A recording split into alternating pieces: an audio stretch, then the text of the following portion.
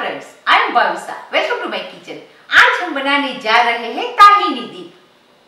ताहिनी दीप बनाने के लिए हमें चाहिए chilli paste, lemon juice salt parsley गढ़ा दही garlic paste black pepper powder तिल। सबसे पहले हम ये जग के अंदर एक गाढ़ा दही डालेंगे। इसमें से हमने पानी निकाल दिया हुआ है। Green chilli paste, garlic paste, parsley, lemon juice, तिल। यहाँ मैंने तिल रोस्टर लिए हुए हैं। Black pepper powder and salt.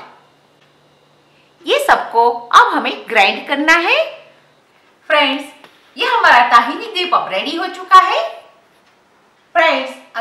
मेरी ये रेसिपी अच्छी लगे तो please like share and subscribe